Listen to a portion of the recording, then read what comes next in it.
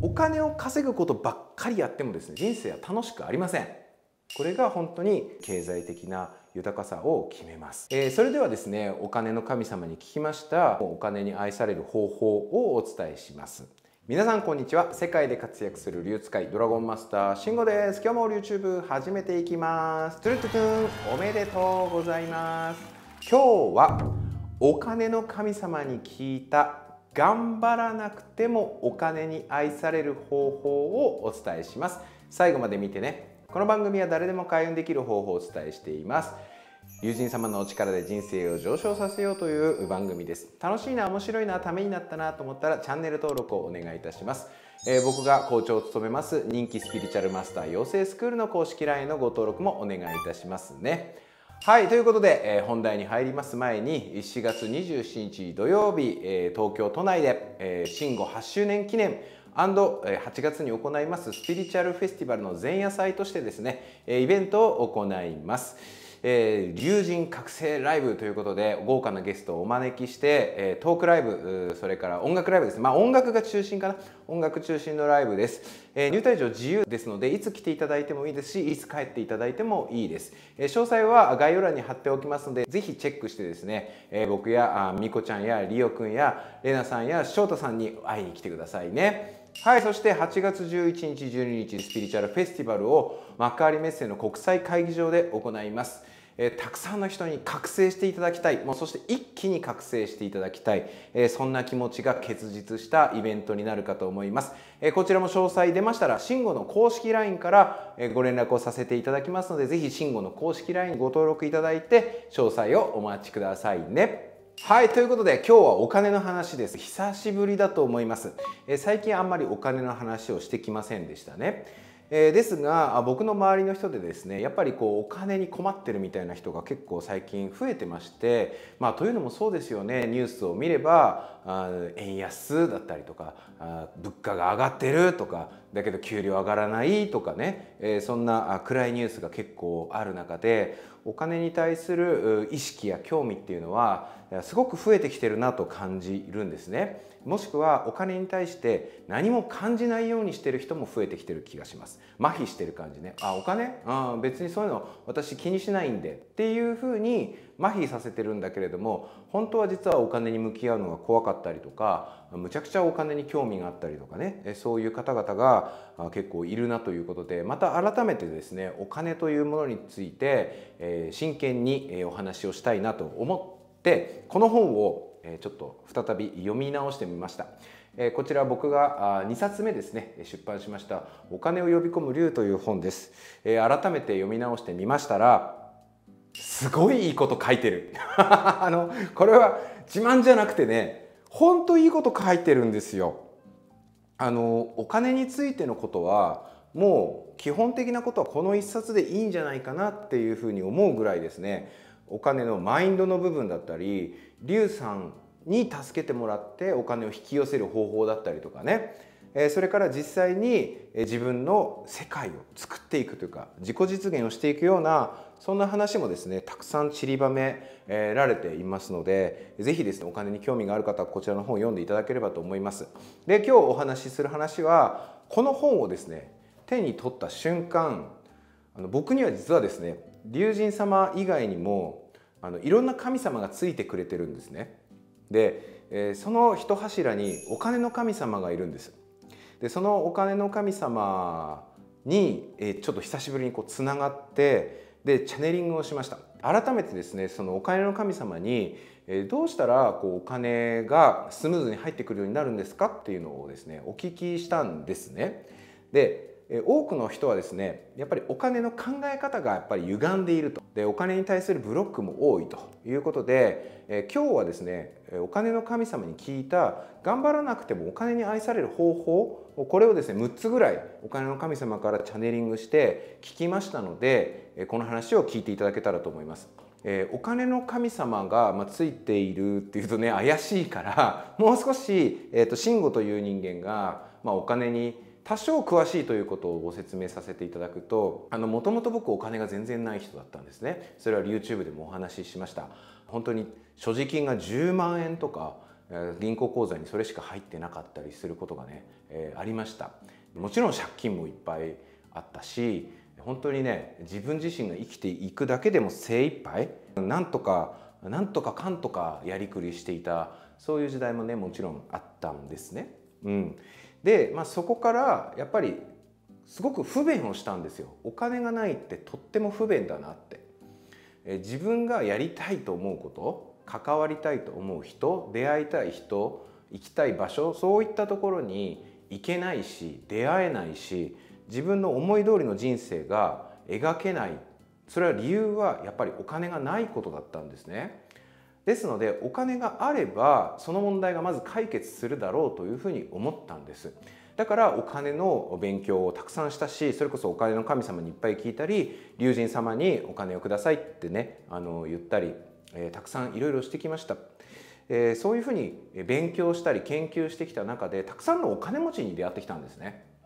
で例えば年商100億円の会社の社長さんだったりとか資産10億円の会社の社長さんだったりね、えー、いろいろフリーランスでやってらっしゃって活躍してる人もいるし、えー、いろんなお金持ち、えー、お金を稼いでる人たちに出会って話を聞いてきたんです。どうやってお金に恵まれたんですか？どうやって豊かになったんですか？っていうのを聞いて回りました。なのでその知恵がですね僕自身にたくさんあるなと思います。でその知恵を使って僕自身も奥男になりました、えー、先日はドバイに行ってきましたね。でドバイの、えー、もうお金の価値観っていうのはもう日本の価値観とは全然違うんですね。大げさかもしれないけど6億円が6万円ぐらいのもっと安いかな。6億円が6,000円ぐらいの感覚のお金持ちの人とかもいるんですよ。やっぱり石油の王国でむちゃくお金持ちがいるからね全ての人とは言いませんよドバイの方々みんながそうだとは言いませんけれどもそういう方もとんでもないお金持ちもいらっしゃるんですね。でそういうお金持ちがいる空気をこう、まあ、直に吸ってきてですね、まあ、自分のお金のエネルギーもかなりまたあのステージアップしたんじゃないかと思います。まあ、そういう理由で、まあ、お金の神様にチャネリングしたというちょっとね不思議な情報だけではなくて、まあ、慎吾はこう体と心と魂を使ってお金の学びをしてきましたのでその辺りでね、まあ、ちょっと人間的なというか具体的な方法でもあるんだと思っていただければいいし、まあ、少なくともこの YouTube をご覧の方々よりは多少やっぱりお金のことについては詳しい知見があるんじゃないかなと思うので聞いて損はないかなというふうに思います。はいえ、それではですねお金の神様に聞きました。頑張らなくてもお金に愛される方法をお伝えします。一つ目、え、笑顔でいるということですね、え、お金の神様にチャネリングするとすごく笑顔のエネルギーが温かい愛のエネルギーが降りてきました。お金の神様自体もニッコニコなんですね。はーって笑ってるんですよ。であこれが一番大切なんだというふうに思いました。感じましたね。お金を稼ごうとした時にですねみんないつもこういう顔になるんですよ。しかめっ面になるんだけどそれではやっぱりですねお金っていうのはシャットダウンされてしまうんですね。お金っていうのは楽しいものですね。楽しいところに集まるんです。皆さんの周りでもそうじゃありませんか？なんか苦しいところにお金って集まってる感じします？近所の繁盛しているお店店員さん笑顔じゃないですか？えそれから何かイベントとかあってすごく楽しそうなところに人が集まってそこにお金を落としていってますよね。ですからまずはお金を引き寄せるためには自分が楽しい笑顔の状態でいるということです。まあ、幸せな状態でいるっていうことね。で僕の知り合いのお金持ちの人でねあんまりこういうしかめっ面してる人ってほとんどいないですね。まあ僕が合ってないだけかもしれないけど僕は基本幸せなお金持ちだけを引き寄せるなんか力があるようなのでしかめっ面のお金持ちもいるんだとは思うんですけど僕はあまり会ったことがないんです。で後から出てくるんですけどお金を持ってるだけじゃダメなんですね、まあ、正直、うん、お金持ちになることはまあ素晴らしいことなんだけどお金持ちになってどうなるかなのでまずはお金があってもなくても笑顔でいるということ。幸せな気分でいるということです。このことによってお金は引き寄せられるしさらには自分の人生が幸せになりますから、まあ、仮にお金が引き寄せられなかったとしても幸せな人生が送られると思いませんか？なのでぜひですねまずは笑顔でいることを意識してみてください。2つ目は自分の中の愛に気づく。自分の中の愛に気づくということですね。はい。これはちょっとね2個目から深い話になってしまいますのでちょっとよく聞いていただきたいんです。まずお金というのは奪うものではないんです。そして奪われるものでもない。お金というのは愛なんですね。愛の循環をすることによってお金を得ることができます。もちろん世の中にはねお金を奪ったり奪われたりという世界がありますが僕が話しているお金持ちというのは基本的に幸せなお金持ちになるためのものですのでお金は愛だと定義しています。でもそうですよね。例えばレストランを見た時にコックさんシェフが一生懸命一生懸命お客さんに喜んでもらおうと思って料理を作ります。その料理に対してお金を払います。ありがとうって言ってお金払うよね。でそのお金がそのシェフの人だったり従業員の人だったりの給料になる。それからそこのお店の家賃になる。水道光熱費になる。そしてそのお店が存続できるわけですね。ということは頂いてるのも愛。シェフの料理も愛だしこちらからお渡ししているお金もそのお店にありがとうこれからも頑張ってねっていう愛ですよね。愛が循環してるんです。で自分にお金を呼び込ませるためには自分の中の愛に気が付かなきゃいけないんです。でこれ後で出てくるんだけどこの愛を分かち合うその量と質によって収入っていうのが変わってくるんですね。なんですけれども多くの人がですね自分の中の愛に気が付いてないんですね。もうちっちゃくちっちゃくしてるんです。この愛というのはもう人に良くなってもらいたいという気持ちもそうだしあとは自分の愛自分への愛ですよね。自分への愛というのは自分に対する感謝だったり自分の魅力をどれぐらい認めてるかということもそうだし自分の才能をどれぐらい認めてるかっていうこともそうなんですけれどもでもですね多くの人が自分には何もないというんですね。何もないはずがないですよね。もうこれは僕は口酸っぱく言っています。ちなみにですねこれについて僕は最近 Voicy をまた復活させまして Voicy でむちゃくちゃ愛を込めて強く言ってるのでぜひそちらも聞いていただきたいです。愛がない人なんていないんですよ。だってそうでしょ？お子さんがいる人がねこの YouTube 何人見てるかわからないけれども子供が生まれた時ねまあ今は憎たらしい子供になってるかもしれないけれどもでも生まれた時さ生まれてくれてありがとうってやっぱ思うんですよ。人間だったら誰しもね。思わない親なんていないでしょ。で子供がいない人も想像できるじゃないですか。自分が例えば子供が生まれた時にきっとそういう気持ちになるんだろうな。生まれてきてくれてありがとうっていう気持ちになるんだろうなっていうのは想像できると思うんですね。でこの気持ちさえあれば愛があるんです。愛がないなんて言わせない。絶対にあるんです。そしてこの愛自分がどれだけ深い愛の部分から他の人とそれを分かち合おうと思ってるかがこの収入というかお金のね金額を決めます。続けて3番目。今も出ちゃいましたけど愛を分かち合うということです。基本お金というのは天から降ってくるものではありません。これ物理的にね。例えばあなたが道を歩いてきて歩いていてパッと上から100万円札が落ちてくるっていうことは、まあ、ほとんどないよね。お金は誰が運んでくるかというととても現実的に考えるとやはり他人なんです。で他人に自分の愛を分かち合えば分かち合うほどそのエネルギーが自分に返ってくるの。でこれを僕はスクールで教えてるんですね。お金は愛であり自分の愛を分かち合いましょうね。でこの愛の分かち合い方はいろいろあります。一番手っ取り早いのが SNS ですね。ブログを書くインスタグラムをするこうやって YouTube をやる Voicy でもいいし何でもいいんです。えー、やっぱり SNS なんですか？って思われる方もいるかもしれないけれどもあの SNS を正しく認識してほしいんです。まあ要は拡声器なんです。愛の拡声器。自分の中の愛を自分の代わりにいろいろな人に届けてくれる、まあ、すごく便利な覚醒器みたいな感じなんですね。そういうふうに捉えておくとなんかやらなきゃいけないとか義務感でっていうふうに思わないと思うんですよ。ここのハートの愛をねインターネットの力でバーッと広げてくれるわけですよ。そんな便利なものはないですね。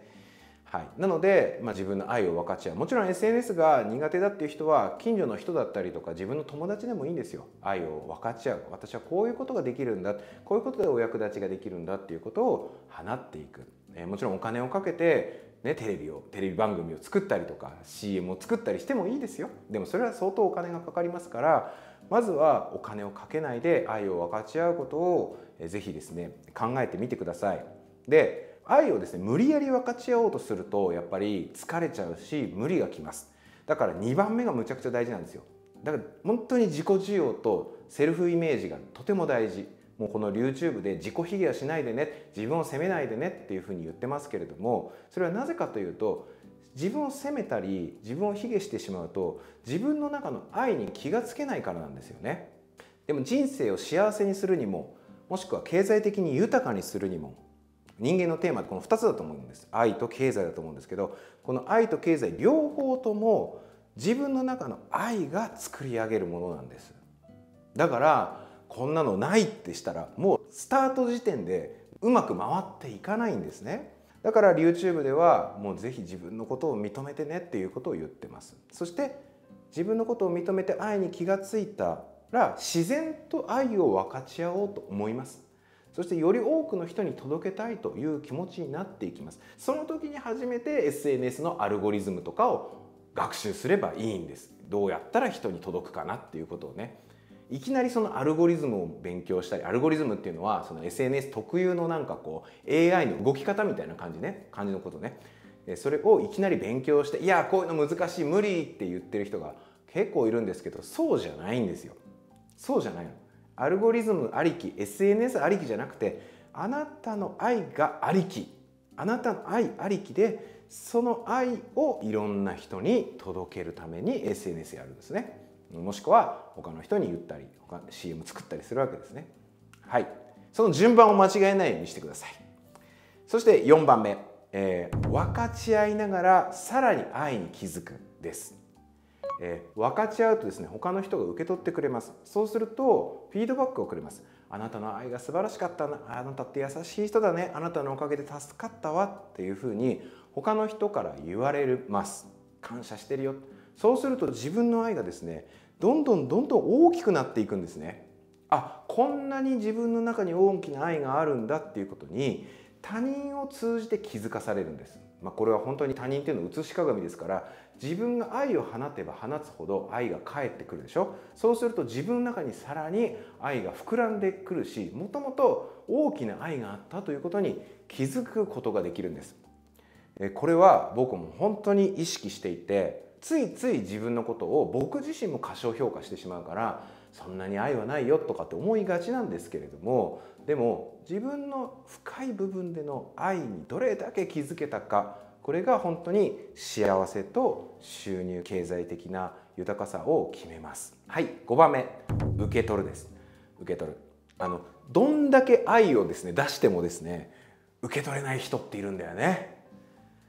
なんとかさんありがとうこれ受け取ってっていうふうにお金を例えば出されたとしてもいやいや私そういうお金とかでやったんじゃないんでお金とか目的でやったんじゃないんでって言って受け取れない人もしくは40万円ぐらい受け取ってもいいぐらいの愛をバーンと話したのにもかかわらず「いや私も500円でいいんで」とかって言ってもう少額しかもらえないとかねそういう人がいます。これはもう完全に、え自分の中のお金のブロックなんですね。お金のブロックを壊すのはすごく簡単でお金を受け取っていいっていうふうに自分に許可するということなんです。申し訳なさや罪悪感から自分を解き放ってあげる。うん受け取っていいんだよ。うん、お金たくさん受け取っていいんだよ。だって受け取っていいでしょ？ダメなんですか？法律で決まってませんよね。ただただ自分が申し訳ないとか罪悪感とかもしくは幼少期に受けたお金に対するイメージの悪さとかそういったものでただ受け取れないっていうふうに言っているだけなので受け取ることを選び始めるとさらに皆さんの人生が大きくなっていきます。だって例えば40万円受け取ったとするじゃない？でその40万円でエステに行ったりとか自分の好きなことに使ったりネイルに行ったりねあのしたりするでしょ？そうすると自分のエネルギーが上がるじゃない？でその上がったエネルギーでまた他の人に大きな愛を提供することができるよね。でそしてまた「ありがとう」って言って今度は100万円ぐらい入ったとしてその100万円で今度は旅行に行ったりねハワイに旅行に行ったりして気分をリフレッシュしたりとかハワイのエネルギーを受け取って、えー、さらに他の人にもっと大きな愛を届けてあげる。つまり自分の愛のこう循環を大きく大きくしてあげるのがこのお金というものなんですね。こんなにスピリチュアルなものなんです。にもかかわらずスピリチュアル業界ではまだですねお金のことを話すと偽物だとかね、えー、すごくバッシングがあります、えー、僕自身もこのお金を呼び込む竜を本を出した時ですねすごいバッシングを受けました、えー、スピリチュアルなくせにお金のことばっかり話しやがってたくさんたくさんお言葉をいただきました。はい、でもそういうお言葉をいただいたけれども自分僕はですねお金というのは愛だと思っているし自分の人生もしくは見てる皆さんの人生をより良くするものだと思っているのでそんなアンチコメントには負けずにですね、えー、本を出したし YouTube でも話し続けました。そしたらやっぱり周りに豊かな人たちが増えたよね。慎吾さんのおかげで転職してお金が豊かになりましたとか起業してお金持ちになりましたっていう人がいっぱいいます。そういう喜びがすごくあるんです僕の中には。その喜びとお金のことばっか話しやがってっていうちょっとねあのなんていうのちょっとちっちゃいちっちゃいちっちゃいエネルギーを天秤にかけたらやっぱり喜びの方が大きいですから、え僕はお金の話をするわけです。はいそして最後、えー、6番目ですね。人生を楽しむ、はい、あのこれはお金を稼いだ後収入が入ってきた後の話になりますがあのお金を稼ぐことばっかりやってもですね人生は楽しくありません。人生は楽しむためにあるんですよ。楽しむためにお金があるんです。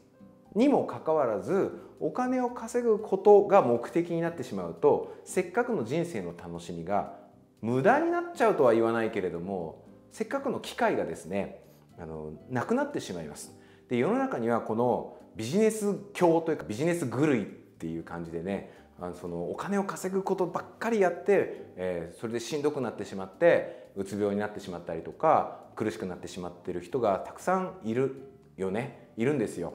なので、えー、人生を楽しむということを忘れないでねお金をいただいて幸せに豊かに人生を楽しむんだという意識でいるとお金は引き寄せられます。ぜひ参考にしてね。いつも励みになってます。ありがとうございます。見ていただいたあなた